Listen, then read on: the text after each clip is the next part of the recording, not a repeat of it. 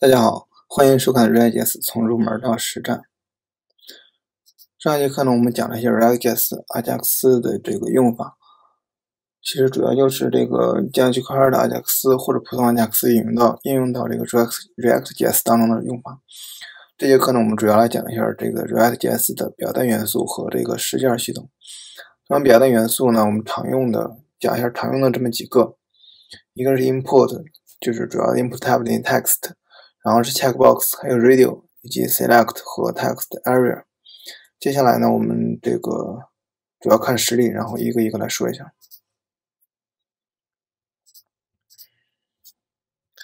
先来说一下这个 text import text，这个呢是一个比较常用的，也是一个比较基本的这么一个表单元素。在这个里边呢，我们定义了一个这个，嗯 form 组件，form 组件里边主要就是一个一个 import 元素，然后这个这块主要需要说一下，就是在外边单独拎出来了一个这个 styles，这个主要是用来这个给组件挂这个样样式的。上节课前几节课的时候，嗯，我们提到过，就是说你在写这个 style 的时候，呃，不同于那个正常的，不同于平常的 HTML 写的时候，我们直接写内类元素。用这个双引号来这个代替这块呢，我们是需要用这个一个对象来这个代替的，并且你在使用的时候呢，是需要把这些呃元素执行写的时候可能会出现这种可能会出现这种用连字符这种写法，呃中华线这种写法，但是呢，在这儿在使用的时候需要用这种。图方命名的这种方式方式来这个改变一下，然后才能生效。这块需要注意一下。然后呢，这几个有几个比较重要的属性，我们需要单独拎出来这个来说一遍。首先，这个 style 刚刚说过了，再一个就是这个 value 和 default value。default value 呢，我们知道都是就是定义了这个元素 input 元素它默认的这个值是什么。那么这个 value 是什么东西呢？我们在正常使用的时候，一般情况下可能会说，你给这个 input 元素设定一个默认的值，你就直接把它的这个设一设一个它的这个 value 属性等于巴拉巴拉一个叉叉叉元素。但是在 React.js 当中，如果你使用这个 value 的值，它的很可能的结果就是保持等于后边这个值不变。那么，除非呢，你用这个 onChange，就是每次你在监监听这个元素内容有更改之后，更改的时候，你把它的这个值重新赋值了一遍。这个是一个什么样的一个用法呢？嗯，有一个这个比较专业的一个术语叫做这个受限组件和非受限组件，它俩有什么区别呢？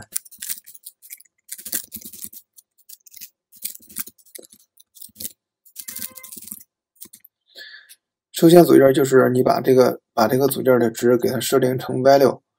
然后呢，非受限的就是不设置 value，或者是设置 value 等于空。这个主要是由于这个我们知道 React.js React.js 当中的这个元素组件元素和这个平常的填表元素还是有一些区别的。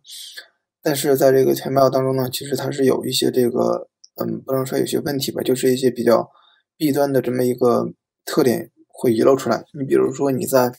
设置 input 的时候，你给它设置了这个 value 值，给它设置了这个 value 值等于什么什么，但是你是仍然可以更改这个 input 它的这个值的，可以仍然更改 input 它的值的。我再说一遍，比如说你设置这个 input 它的 value 等于一二三，那么你在使用的时候呢，还是可以把这个 input 值改成，比如说，比方说一二三四五。但是你在取的时候呢，你如果是通过这种 get element document 点 get element 的 id 巴拉巴拉某元素点 id 等于 value 的话，你是可以正常获取。但是你如果说是通过这种这个呃获取它的属性值 get ht get attribute 这种方式去获取呢，它就可能不正确。但是我们知道 React.js 当中，它一般是通过这种。要保证它的这个 value 值属性值和它显示的值是保持一致的。那么在这种情况下呢，如果说你提示的不一致，就表现出来这个好像说是不是这个组件出问题了呀什么的。所以就是为了保证这种一致性，它提出来这种受限组件和非受限组件，就是你设置它的 value 之后，一定要显示的值和它的这个 value 属性值是保持一致的。所以说，你如果想要修改的话，你只能通过这种每次清理的时候你去动态的更改这个组件它本身的值，然后它本身的值呢，因为又和它的表现和它的展示出来的这个元素是相关联的，所以这样的话呢，就保证了它的一致性。这就是我们说的这个受限组件以及这个非受限组件。我们这块来这个简单的来看一下这个实例运行。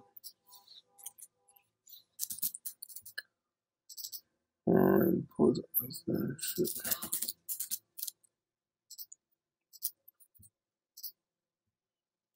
，default 一二三。它仍然可以更改。你如果说把这个值给它固定成这个一二三之后呢，不管我怎么敲键盘，它的这个值都不会更改。这就是因为它的这个 value 值，它要保证这个 value 值和它的这个显示是保持一致的。所以说，你如果这设置这个 value 值，给它一个固定死的值之后，它别的值就不会再做更改。这是这是刚刚提到的这个，为了改变 HTML 当中它的属性值和表现出现不一致的这么一个问题，这是一点。然后第二点是我们紧接着要说的这个 text area，text area 这个元素，嗯，基本上和上一个差不多，唯一有几个不太一样的地方是我们要注意一下这个，我们正常在写 text area 的时候，一般是这个。嗯，巴拉巴拉一堆值，然后紧接着是一个 B 标签。但是你在写 React.js 当中的时候呢，它为了保证所有的这个组件的一致性，它直接就是相当于你可以给它一个 value 值，和之前的那个一样，给它一个 value 值等于巴拉巴拉一个元素，等于巴拉巴拉一个这个字符串或者什么的。然后就直接展示，当然了，也可以通过这种 default value 这种格式，就是我们现在看到的这个，你设置了一个它的 input 等于 this is a default text area，然后这样的话呢，它就表现出来默认值，这样的话就把它当做也当做一个 B 标签来对待，这就避免了这个如果说 text area 里边下边还有一个其他的元素的话，我是应该把这个元素解读为这个 text area 里边的这个值呢，还是解读为它一个？单独的组件，避免了这种疑惑，所以把这个 value 值给提取出来了。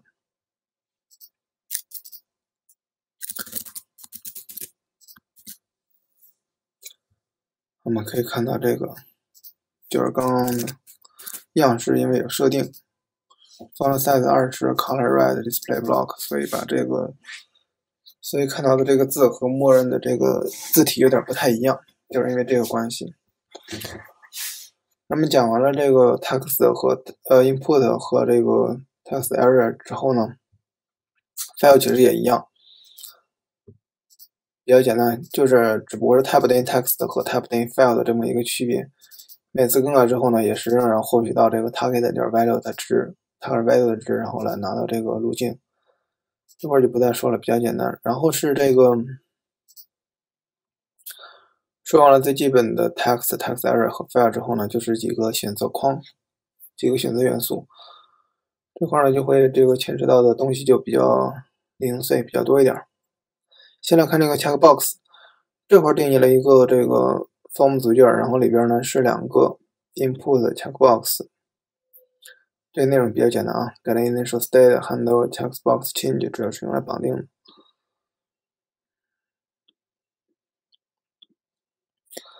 那么这一块呢，也有一个不一样的，checked 等于它判断它的这个值是否等于 banana，然后来做更改。这个的是，这个是这个做一个基本判断，这个没什么关系。主要的问题在于你每次这个 handle text box change 的时候，你要注意。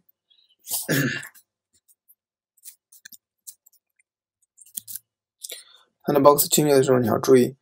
它在这儿是点击到某个元素，它去获取到，它去获取到这个某一个元素的值。你如果在这儿你判断的时候，如果说你两个元素都勾选上了，一定要记得记得及时更新这个 state input 值。它并不是说，它并不是说我直接去获取这个 name 啊或者什么，然后来获取两个勾选的值，它只是获取到你去点击的那个有事件更改行为的这个组件的值。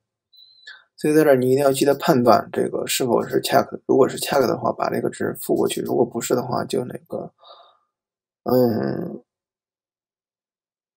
啊不是的话就直接更改掉了，直接更改了这个 input 就 OK 了。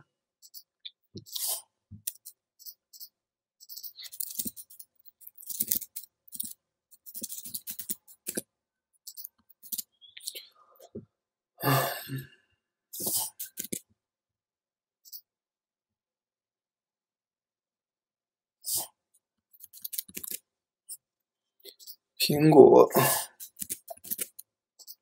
打印出来当前的这个 input 是苹果。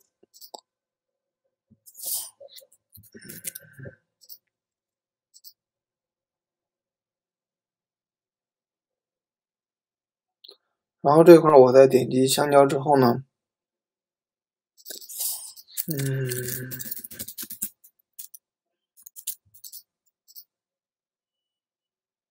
Check 点 input 等于 set 点 input 等于 banana，因为我这勾选上了，勾选上了香蕉，勾选上了香蕉之后呢，检查的状态是勾选状态，所以更改了这个 input 的值等于这个等于这个这个这个这个 banana，所以就勾选上了。然后这个苹果，因为这是一个复选框嘛，所以并没有并没有把苹果的勾选掉。关键是在于你如果勾选掉。苹果之后，它检查这个苹果是这个 checked 等于 false，所以它其实并没有更改这个 input 的值。然后在这一块儿，你如果去这个点击点击这个 banana 的时候，因为它检查它的这个值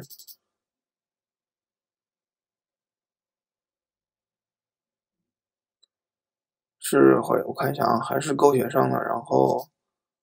设置它的 input 值等于 banana，调试一下看一眼。这块 OK 的，checked 等于 true，input value 等于 apple 没错。这会儿 checked 是 true，value 等于 banana。这直接写一个吧。target 的 value。Banana 也 OK，然后我这儿继续 check false，嗯，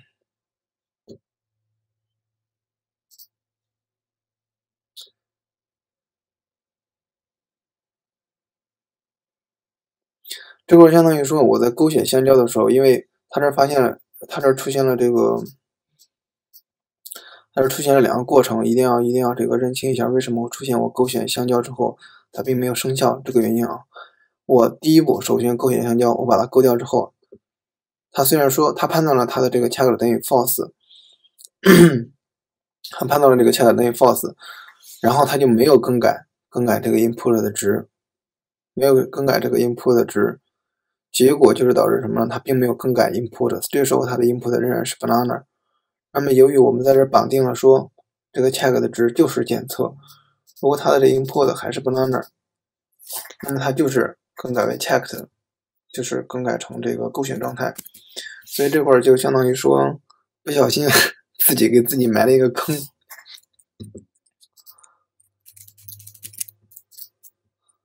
不小心自己给自己埋了一个坑。嗯，所以这块儿应该是这个。你如果检查它的值是勾选成勾选成是 false 的话，应该把这个 input 当中的值给它去掉，并且说，并且这个 input 应该是因为是这种复选框嘛，你用一个字符串肯定是不对的，你应该应该是把它当做一个这个，嗯，当做一个数组来对待。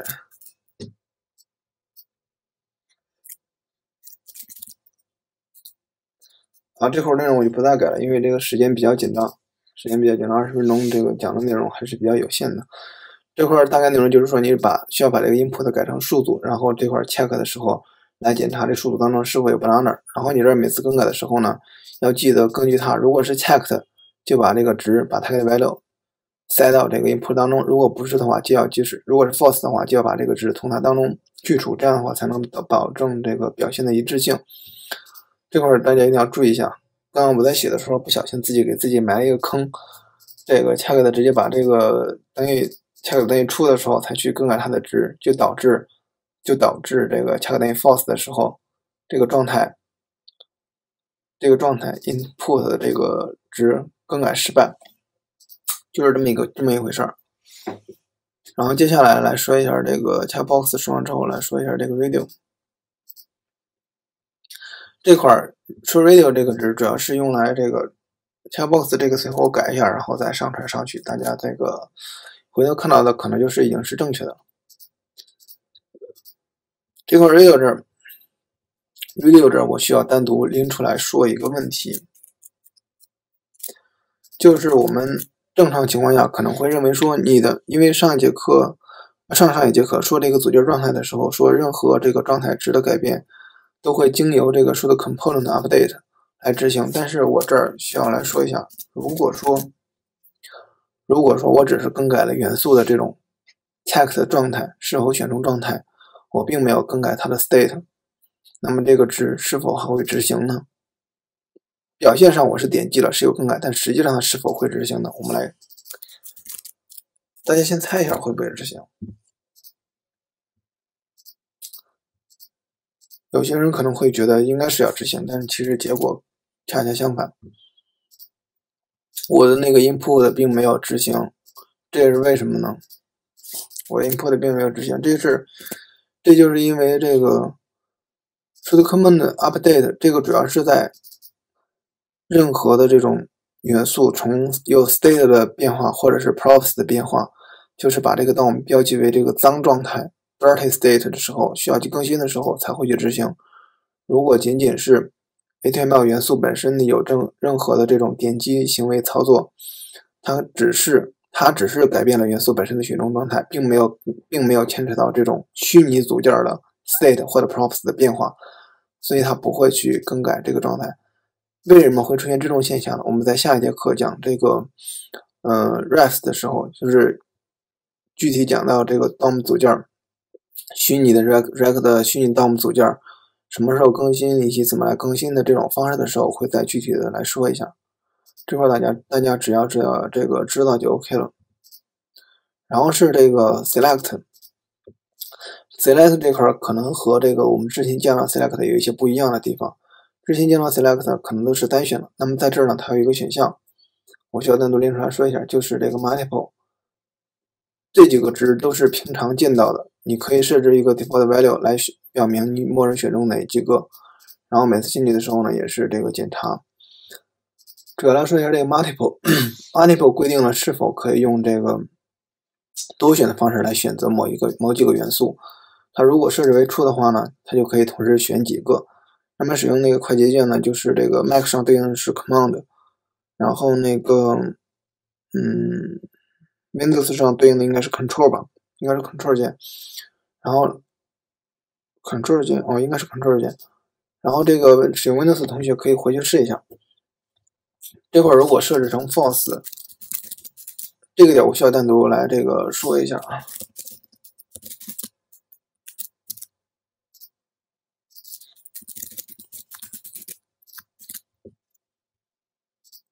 它就是单选框，了如果改成这个 True 的话。改成多选的这块要注意一下，就是说，我在这选的时候，它的这个 value 值是我点击的这个值是 a，但如果说我这儿更改了一个别的值 banana，它 value 还是 a，这是为什么呢？这个是因为虽然是多选，但是它选中它的这个 target value 响应的仍然是我上一次，就是相当于说它把这个 select 当做一个组件来对待。而它的这个 value 值呢，就是我上一次点击的时候选中的那个元素的值。这样的话呢，就产生了，就导致了一个 产生了一个这个比较嗯不大不小的这么一个坑，就是对于这种 multiple 元素，我应该怎么来选取这个组件元素呢？怎么来选取这个组件元素呢？有一个比较 hack 的办法，就是说我在 target 的时候，每次我去便利一下，因为这个 target 是这个 select 嘛，我去便利一下它的这个 options 里边。每个元素是否被选中？如果选中的话，我就拿到它的这个 value 值。通过这种方式来取到每一个这个元素当中，每一个 select 当中它的这个呃，就是取具体的这个 value 值。那么通过这种方式呢，就可以比较 hack 的拿到这个 select 当中 multiple 的 option 这种选项它的值。嗯，这块我们来这个调试一下，看一眼吧。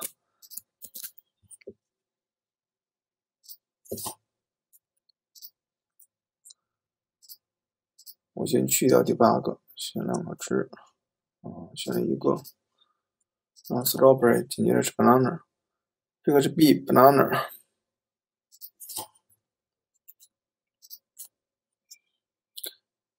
这个是 a 最新选中的这个元素。那么如果我想要获取全部元素，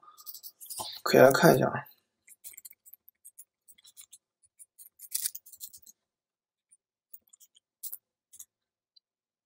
option 零就是刚刚的这个 apple，select 状态呢就是选中。那么每个元素我们在更改有这个编辑试卷的时候呢，就可以去拿到便利一下这个 options 的各种选项。啊 options 零、options 一，看它的是否 select，它的 value 是多少。通过这种方式比较 hack 的来取到这个，